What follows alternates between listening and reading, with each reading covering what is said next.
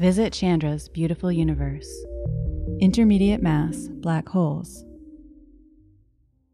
In some of the most crowded parts of the universe, black holes may be tearing apart thousands of stars and using their remains to pack on weight.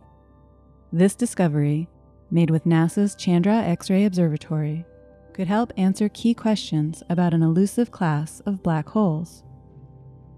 While astronomers have previously found many examples of black holes tearing stars apart, little evidence has been seen for destruction on such a large scale.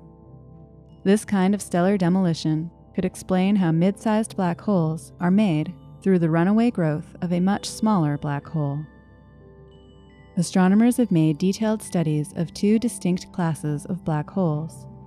The smaller variety are stellar mass black holes that typically weigh 5 to 30 times the mass of the Sun. On the other end of the spectrum are the supermassive black holes that live in the middle of most large galaxies, which weigh millions or even billions of solar masses.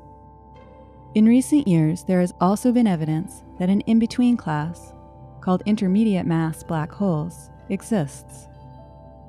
The latest study, using Chandra data of dense star clusters in the centers of 108 galaxies, provides evidence about where these mid sized black holes might form and how they grow.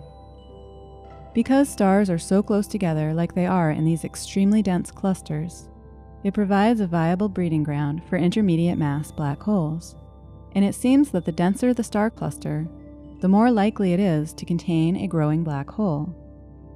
Theoretical work by the team implies that if the density of stars in a cluster, the number packed into a given volume, is above a threshold value, a stellar mass black hole at the center of the cluster will undergo rapid growth as it pulls in, shreds, and ingests the abundant stars in close proximity.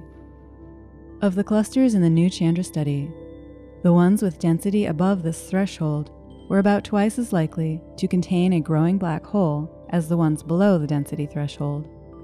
The density threshold depends also on how quickly the stars in the clusters are moving. The process suggested by the latest Chandra study can occur at any time in the universe's history, implying that intermediate mass black holes can form billions of years after the Big Bang, right up to the present day. While the latest study doesn't prove that runaway black hole growth occurs in star clusters, it lays the groundwork for additional X ray observations and extra theoretical modeling to construct an even stronger case.